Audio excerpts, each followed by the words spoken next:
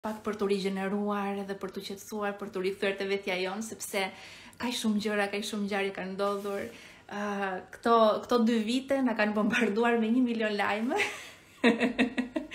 Edhe faktikisht shumë kanë pyetur që uh, si si të rigjenerojmë, si të rikthehemi tek vetja, si të uh, si ta heq pak fokusin, domethënë nga të gjithë këto gjëra që po ndodhin.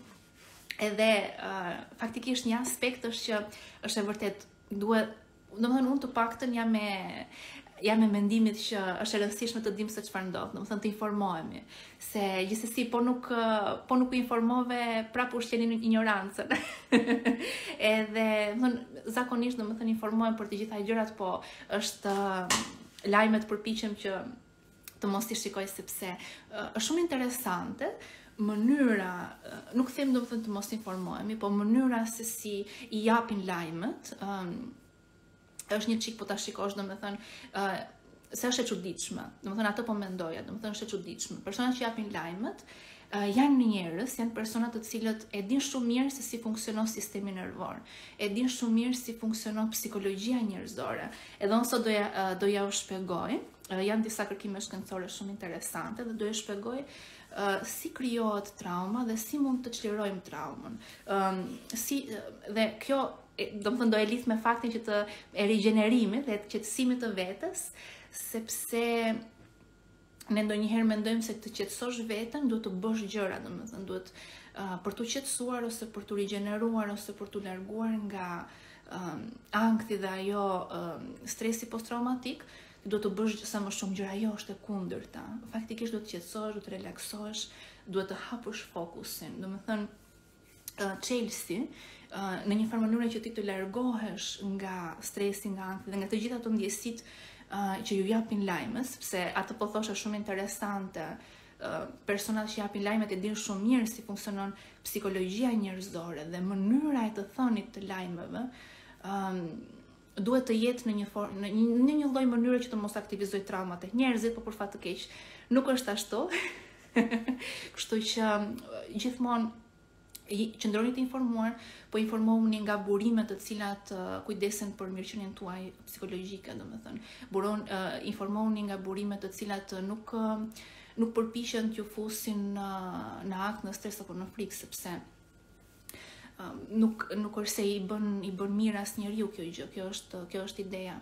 Mbaj mend atëherë kur kam qenë e vogël, tani nuk nuk i shikoj më, nuk e di kush i ka parë lajmet te Italia Uno, edhe lajmet e Italia Uno, domethënë, ose te Canale 5 e diçka e tillë, kanë qenë ekzemplar, domethënë edhe te kanalet Rai, domethënë, ato lajme, kush i ka parë, kanë qenë, domethënë, një histori një histori tragjike, domethënë, kur dilte ajo, ajo spikerja që fliste për lajmin që kishte ndodhur, e tregonte, domethënë, si një film, komplet si një film, domethënë, edhe uh, komplet futeshe gjithë uh, emocionalisht, ishte, ishte komplet i përfshirë, mënyra, mënyra se si italianët i tregonin lajmet është shumë interesante, po që gjithsesi, domethënë, të gjithë pak a shumë, kështu që um, një këshillë për të gjithë ata, Uh, keni probleme me Nano, shumë faleminderit, shumë shumë faleminderit. Keni probleme me internetin?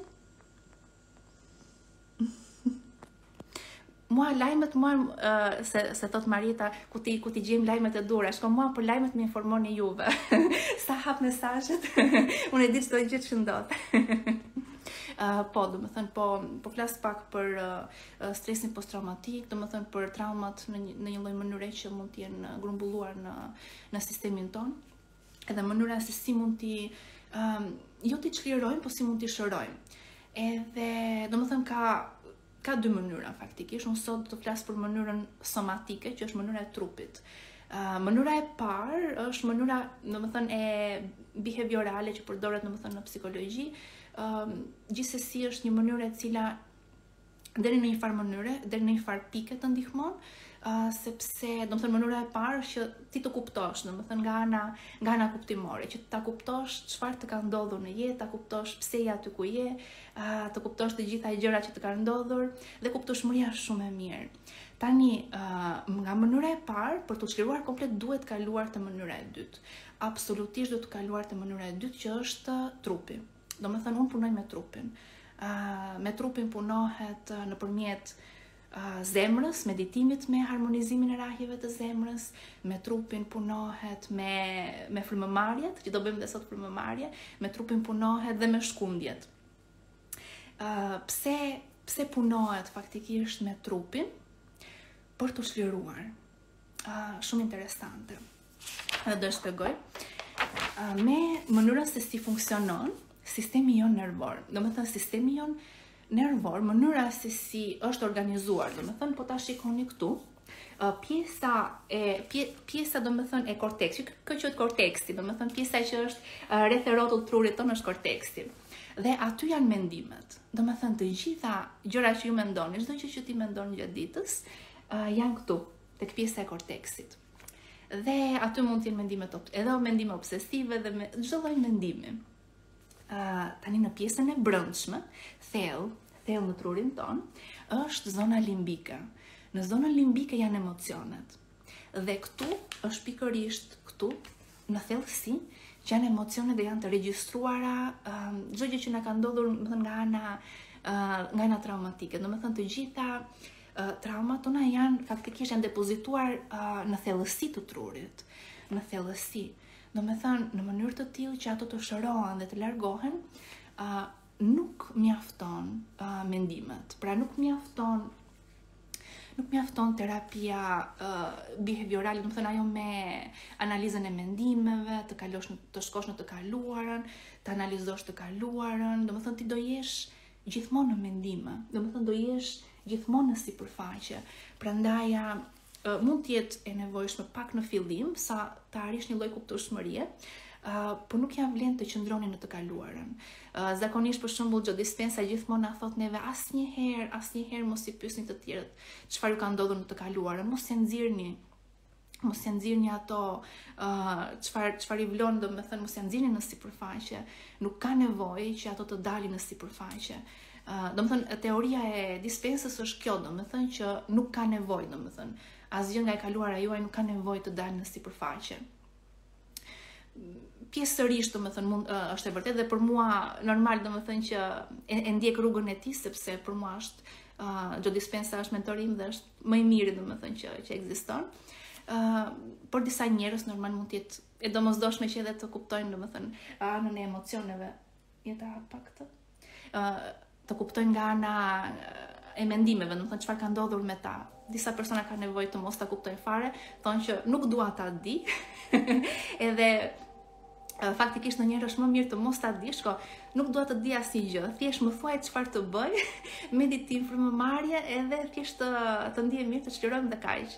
Edhe kjo është kjo është një kjo është metoda e Dispenzës. Domethënë, ai nuk futet fare në thellësi, në qoftë se një person nuk ka rëndësi, domethënë, se çfarë ka kaluar. E kaluara le të ngelet e kaluar. Thjesht, domethënë, merremi me meditimin, harmonizimin e rrahjeve të zemrës, frymëmarrjen, e shkund pak trupin, do shpjegoj, domethënë, dhe me, kanë disa kërkime shkencore që janë bërë, jo, pse domethënë ato e ndihmojnë. Tani të rikthehemi te kjo pjesa e anatomisë. Më falni se s'po lexoj dot mesazhet. Ëm um, atëherë të rikthehemi te pjesa e anatomisë. Domethënë thjesht të qëndrohesh në mendime, ë uh, nuk të çliron. Domethënë thjesht do do qarkullohesh këtu, domethënë do qarkullosh këtu, do vish vërdall, uh, do flasësh, mund të flasësh me vite, nuk nxjerr asnjë gjë. Edhe kujton domethënë që domethënë bëra ç'bëra, prapë prapë këtu do rrotullohesh. Nuk futesh në thellësi. Në të thellësia ngelet e paprekur, po pse? Domethënë, pjesa e brendshme e trurit, sistemi limbik, janë emocionet. Dhe emocionet janë ato të cilat kanë shkaktuar uh, atë traumën, atë bllokimin, domethënë, ato pastaj e sjellin ankthin, depresionin, frikën, ato e sjellin. Uh, tani si, çfarë ndodh, domethënë? Ëm sistemi nervor nuk është thjesht domethënë truri, pjesa kortekse dhe limbiku, po është komplet gjithë trupi jonë, ja, po e sjell guximtarin, të na shërbejë një cikë, uh, është truri, është dhe komplet domethënë nga shtylla kurrizore, komplet sistemi nervor, është në të gjithë, në të gjithë trupin. Tani, uh, mënyra se si ne, domethënë, duhet, domethënë, normalisht që të çlirojmë traumat, është kjo. Dhe po marr një shembull nga një ari polar. Një ari polar, për shembull në momentin që ariu polar sulmohet, aktivizohet ajo, aktivizohet ajo sistemi fight or flight që quhet fluturo ose lufto. Pra, fluturo. Ariu polar nuk fluturon dot, po vrapo. vrapo ose lufto. Pra në, në trurin e tij ka dy mundësi, ose të vrapojë, ose të luftojë. Dhe zgjedh njërën nga këto, vrapon ose lufton. E zëmë se vrapoi. Vrapon, ikën, edhe në momentin pastaj që po sistemi nervor është komplet i ndezur, domethënë është i ndezur, është i, e, ka një energji shumë të lartë. tani në momentin që ja, qetësohet, domethënë i ikën rrezikut, relaksohet, qëndron domethënë e ndien që ai është i sigurt, çfarë ndodh me trupin e ariut polar, ai fillon të dridhet pak. Domethënë vetë sistemi nervor fillon të dridhet. Pra, fillon të shkundet.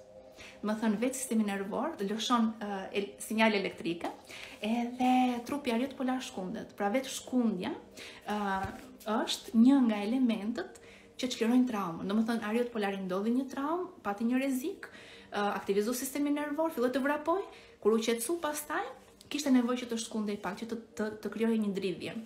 Dhe kjo është studiuar, quhet uh, therapeutic neuro, neurogenic tremor, domethënë shkundje. Edhe është një eksperiencë somatike quhet, një eksperiencë trupore, të cilën uh, praktikohet shumë në, në klinikat uh, në Amerikë, ku pacientët për shembull mund të uh, i vendoset një muzikë edhe thjesht shkunden, domethënë shkunden, shkundin trupin, shkundin krahët, shkundin këmbët, domethënë në një farë mënyre ti e, uh, ti e nxit vetë, domethënë atë pjesën e çlirimit të traumës. edhe në qoftë se tani çdo njeri, edhe në qoftë se s'të ka ndodhur gjë, e është gjë shumë e mirë, domethënë që vetë sistemi jot të shkundet, sepse i çon një sinjal, domethënë që shkarko dhe çliro çdo lloj emocioni të bllokuar që ke në trup. Domethënë, vetë shkundjen, thjesht do vendosim sot para meditimit, para se të fillojmë meditimin do vendos një muzikë. E dini ju atë muzikën për ata që kanë bërë meditimin ADN-së. Edhe do ja shpjegoj domethënë pastaj. Pra kjo është një eksperiencë somatike për të çliruar traumën në trup. Thjesht lejoje trupin të ndjejë. Çfarë çfarë çliron? Çfarë çliron një traumë nga trupi? Është që ta lejosh në një farë mënyre të ndjesh emocionin. Pra shkaktimi dhe grumbullimi dhe bllokimi i traumës në trup, ë është se ne nuk i pranojmë emocionet. Pra, duke qenë se ne kemi jetuar në një shoqëri që në një shoqëri na thotë, "Jo, mos, nuk duhet të ndjesh, nuk do të uh, nuk do të qash, nuk duhet të bërtasësh, nuk do të inatosesh." Domethënë, uh, në qoftë se nuk është një emocion uh, gëzimi ose lumturie, ajo fare nuk ke të drejtë. Atëherë çfarë ndodh në qoftë se ti s'ke të drejtë? Çfarë ndodh? Ëm um, ndodh një grumbullim, ndodh një grumbullim i këtij emocioni në sistemin nervor. Pra, vetë trupi jot, ça ndodh? Vetë trupi jot nuk e bën dot atë procesin që bën ariu polar. Pra, trupi jot nuk bën atë atë aktivizimin vrapo ose lufto. Për shembull, imagjino, po jap një, më falni. po jap një shembull nga nga klasa, nuk e di a kem a e kam thënë ndonjëherë. Për shembull ti je në klasë, edhe për gjithë ata që kemi qenë në gjimnaz ka ndodhur. Ë uh, dhe tani zysha të të bërtet ose të thotë diçka. uh, me gjithë respektin për gjitha zyshat, se sot është 7 marsi, gëzuar.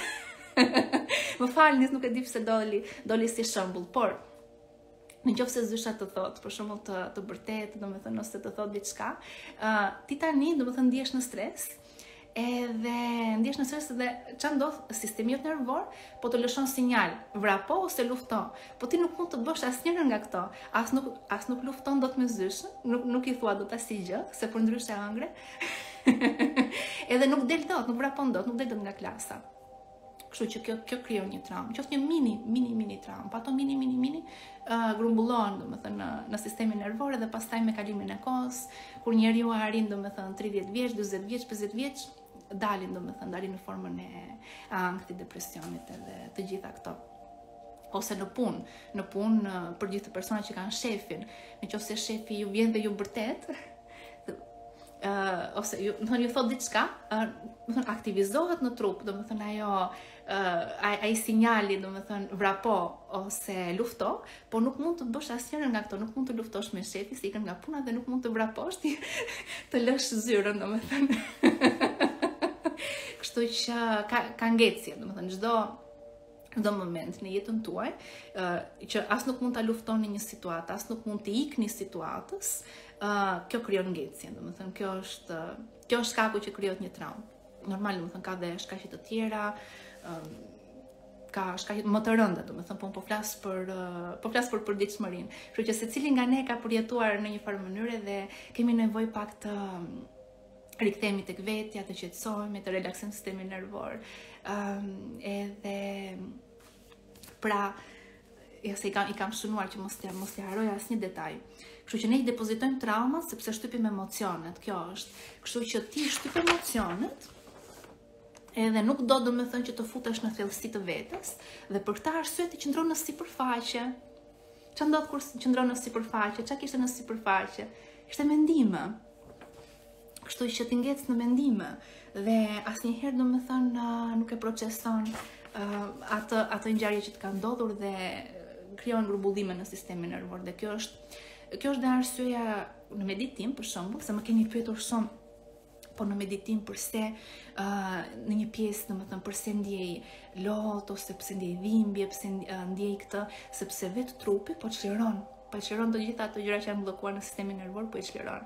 Edhe mm, më bëhet shumë qejfi sepse që nga fillimi uh, e kemi thënë këtë pjesë, domethënë që ju shumë e mirë, po shëroheni, po po shëroheni dhe e keni marrë shumë pozitivisht. Ëm um, dhe nga vetë nga fakti që e keni marrë, e keni marrë pozitivisht, e keni pranuar, domethënë pra e keni ndier atë emocion. Vetë fakti që e keni ndier atë emocion, domethënë se keni qenë je në gjendje rehati, je në qetësi, je në meditim, je komplet i relaksuar dhe ia, ia lejon vetes që ta ndjesh atë emocion, që të ndjesh të ndjesh lotët, të ndjesh të gjitha emocionet që mund të dalin në meditim, ia lejon vetes. Dhe lejimi është shërimi. Lejimi është shërimi. Ajo është, në momentin që ti e lejon op, kalon rrjedh energjia, kalon edhe ti çlirohesh plotësisht. Kështu që lejoni mos e uh, keni merak fare, është uh, është pjesë e procesit të shërimit. Dhe është gjë e mirë ndonjëherë unë gëzohem kur uh, kur më tregoni që keni goxha uh, ndjesi somatike nga meditimi. Somatike është trupore, domethënë ndjesi trupore nga meditimi se është gjë shumë e mirë. Kështu që domethënë si domethënë sistemi nervor. Ja se po i lexoj. Uh, Okej, okay, në rregull, domethënë po pak a shumë Pak a shumë këto i thashë.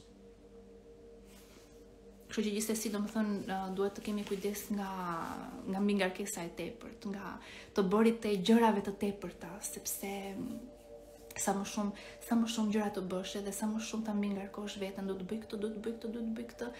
Ëm edhe gjithmonë uh, ngec domethënë në mendime. Uh, aq më e vështirë është që ti të lëshohesh, t'i lëshosh të gjitha gjërat që ke për të bërë, T'i lëshosh mendimet, t'i lëshosh, domethënë, çdo lloj përgjegjësie që ke për momentin, dhe të futesh thellë tek vetja jote. Pra kjo është çelësi i shërimit. Qoftë edhe një moment gjatë ditës. Të lini një moment gjatë ditës që juve të arrini të lëshoni në një farë mënyre të gjitha gjërat që keni për të bërë. thënë normal, nuk mund të nuk mund t'i lëshosh gjatë gjithë ditës gjërat që kemi për të bërë, po të paktën uh, një orë në ditë ose dy orë në ditë, unë zakonisht në mëngjes dhe në darkë. Uh, jepini kohë vetes, lejojini vetes që ta largoni fokusin nga të gjitha gjërat që keni për të bërë, nga të gjitha përgjegjësitë dhe futuni thellë tek vetja juaj, lejojeni veten që të shëroheni, të çliroheni, dhe vetë thjesht ky proces uh, do ju çlirojë me kalimin e kohës. Nuk është e nevojshme të thuash duhet patjetër që ta bëj edhe, edhe kjo ndjesia që duhet patjetër ta bëj. Edhe, edhe kjo krijon, krijon një thot një lloj presioni. Pra, jeni duke bërë gjënë e duhur, nuk ka nevojë, nuk ka nevojë fare për presion, jeni aty ku duhet, po bëni gjënë e duhur dhe çdo gjë është proces në fund të fundit. E rëndësishme është të kemi atë ndjenjën e mirë. Uh, kështu që diçka tjetër që doja të thosha.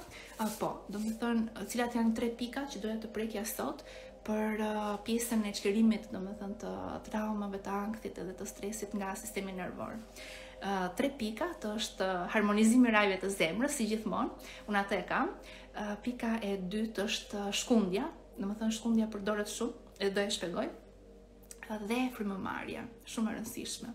Tani e para është harmonizimi i rrahjeve të zemrës, e kemi thënë, nga dhe çfarë ndodh, domethënë, është një projekt i HeartMath Institute për që Trauma Relief Project, është me pikënisje nga, nga një institut shkencor në Kaliforni, dhe çfarë kanë bërë ata, kanë studiuar mënyrën se si harmonizimi i rrahjeve të zemrës faktikisht përmirësonte, përmirësonte kontrollin neurokardiak, domethënë lidhjen midis trurit dhe zemrës dhe përmirësonte ankthin, përmirësonte stresin post-traumatik, për, ka përmirësuar dhimbjet kronike të veteranëve, se veteranët e luftës, nga streset e luftës krijojnë dhe dhimbje në trup. Dhe këto i kanë i kanë shër, kanë shëruar pjesë pjesën e dhimbjeve trupore dhe përmirësimet domethënë të të ankthit dhe të stresit. Tjetër pra harmonizimi i rrahjeve të zemrës ishte e para. Edhe do e bëjmë edhe sot, si gjithmonë, Diçka tjetër është shkundja. Shkundja ndryshe quhet therapeutic neurogenic tremor që quhet dhe është terapeutike. Domethënë në momentin që ti e bën me me këtë me këtë synim vendoset një muzikë do i vendosim do vendosim tani që të fillojmë meditimin. Uh, edhe mund ta bëni ngritur ose ulur, por e mira është ngritur dhe thjesht uh, të shkundësh domethënë duart në fillim, mund të shkundësh duart, pastaj vazhdon domethënë me pjesën e shpatullave, me qafën, me kokën, edhe si ta ndjesh edhe pastaj vazhdon më poshtë, domethënë me trupin, me pjesën e vitheve, me pjesën e këmbëve, këmbët zakonisht domethënë thjesht në qoftë se je ulur, i shkund në këtë lloj forme, në qoftë se je ngritur, thjesht domethënë shkundesh në këtë lloj forme. si ta si ta ndjeni më më rehat, domethënë, po me me lëvizje, me lëvizje në fillim të vogla dhe pastaj mund të mund të ta të shkundni trupin pak më shumë. dhe e treta është frymëmarrja. Frymëmarrja është shumë shumë e rëndësishme në çlirimin e të gjitha traumave të të depozituara dhe arsyeja është se aktivizon në një farë mënyrë sistemin parasimpatik dhe ti futesh thellë në emocione. Po të gjitha këto metoda, domethënë edhe harmonizimi i rrahjeve të zemrës, dhe shkundja, dhe frymëmarrja, janë metoda që punojnë me trupin, uh, por ti nuk e di, domethënë, se çfarë ndodh. Domethënë, nuk është se, të, nuk është se të del asnjë gjë nga e kaluara, nuk është se zbulon asnjë gjë, thjesht ndodh automatikisht, domethënë thjesht e lejon trupin që ta bëjë këtë gjë në mënyrë në mënyrë automatike, të shërohet vetë. Kjo është punë me trupin. Ajo ajo që bëj unë domethënë është punë me trupin. E kemi bërë edhe pak punë me mendimet, po sidomos te pjesa teorike në disa live, po gjithsesi nuk më pëlqen që të futem shumë thellë. nuk ja vlen domethënë të futesh thellë domethënë tek gjëra që kanë ndodhur sepse në fund të fundit jemi këtu për të përjetuar çastin e tanishëm dhe për të krijuar një të ardhme të re. Në, uh, dhe truri, sistemi nervor është diçka domethënë shumë e rëndësishme që do ta dini. Uh, ju nuk keni, nuk keni faktikisht të, të njëjtat um, të njëjtat qeliza ose të njëjtat po të njëjtat qeliza që kishit uh, para 10 vitesh, para 20 vitesh Truri është rigjeneruar, domethënë janë qeliza të reja, kështu që nuk jeni më i njëjti person dhe nga një anë duhet, duhet të gëzoheni nga ky fakt që nuk jeni më i njëjti person, nuk keni pse uh, kapeni dhe krijoni lidhje me atë personin që ishte para 10-20 vitesh, jeni një njeri i ri. Nga ana biologjike jeni një njeri i ri. e vetmja arsye domethënë pse ekzistojnë akoma ato traumat janë emocionale, janë komplet emocionale, janë kemikate të depozituara, asgjë më shumë. Kështu që dhe për të çliruar këto kemikate, bëj këto metodat.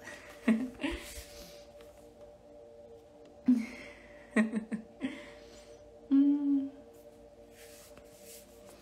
Atëherë, um, sa më mirë. Unë këto...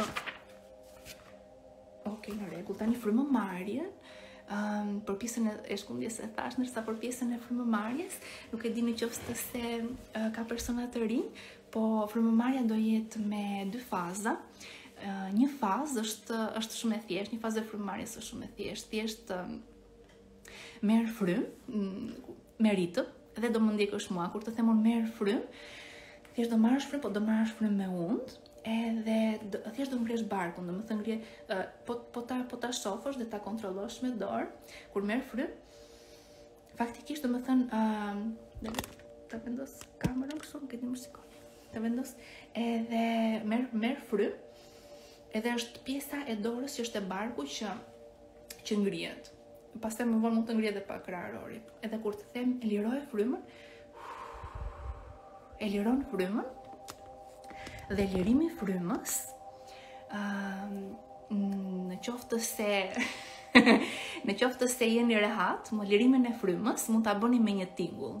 Ë tingulli quhet humming ndryshe, Ah, do më thënë, kur e liron frymën, e liron, ah, do më thënë, sa më shumë që ti ta lirosh dhe të nxjerrësh tingull nga, nga trupi, nga trupi jot, aq më shumë çlirohet uh, sistemi nervor. Do më thënë, humming, quhet, uh, dhe ndihmon shumë, do më thënë, që të çlirohesh sidomos humming e kemi praktikuar tek meditimi i shërimit për qendrën e 5 dhe ka qenë shumë i fortë, shumë i fuqishëm. Mos na zgjoni komshin nga gjumi. po është herët tani. Mm. Dhe mm. dhe pastaj do bëjmë ato frymëmarrjen të ngrejmë energji lart. Për ata që nuk e dinë, um, në fillim do them liroje të gjithë frymën nga mushkëria, liroje, liroje, liroje komplet plotësisht, dhe kur e liron frymën nga mushkëria, në qoftë se do të ashtosh një çik intensitetin, me imagjinatë ti shkon thellë, thellë, thellë në thellësi të tokës. Do të thosh shko thellë me imagjinatë, zhytu thellë në thellësi në thellësi të tokës. Dhe pastaj kur të them Uh, ndjeje energjin që rritet dhe rritet në qendrën e parë.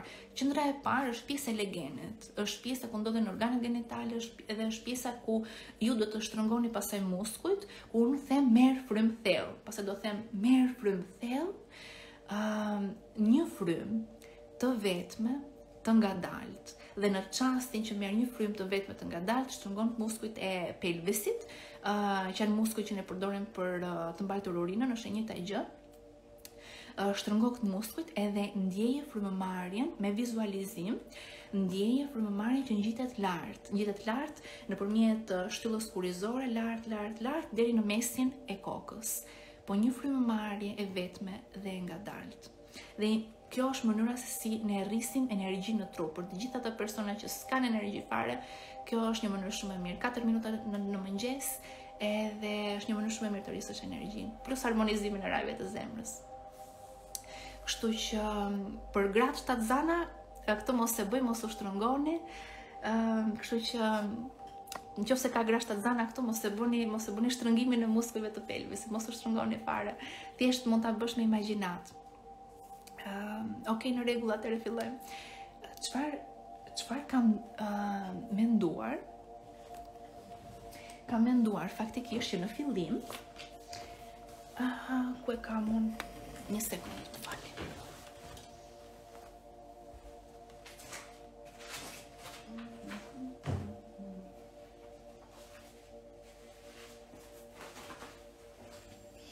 Erdha më falni se ju lashë. Çfarë ka menduar, është që përpara se të fillojmë, përpara se të fillojmë meditimin, do ju them që të, të mbyllni sytë, edhe thjesht të më dëgjoni, të më dëgjoni pak gjërat që do them. Dua t'ju them disa gjëra dhe po dua që të mbyllni sytë, sepse, okej, gjërat që ju thashë deri tani, uh, i kishit sytë hapur edhe ndoshta kishit edhe shpërqendrime rreth e rrotull, shumë gjëra, ndoshta lexon edhe komentet. Po dua tani që t'i mbyllni sytë edhe përpara se të fillojmë meditimin, përpara se të fillojmë shkundjen, do ju them diçka.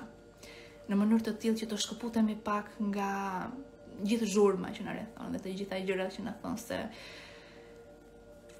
Ah, amfiteatri.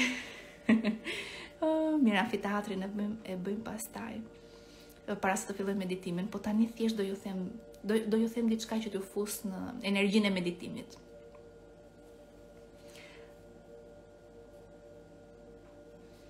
Ose, Okej, në rregull. Thjesht më ndiqni mua. Më ndiqni mua se po më vijnë disa ide të bukura.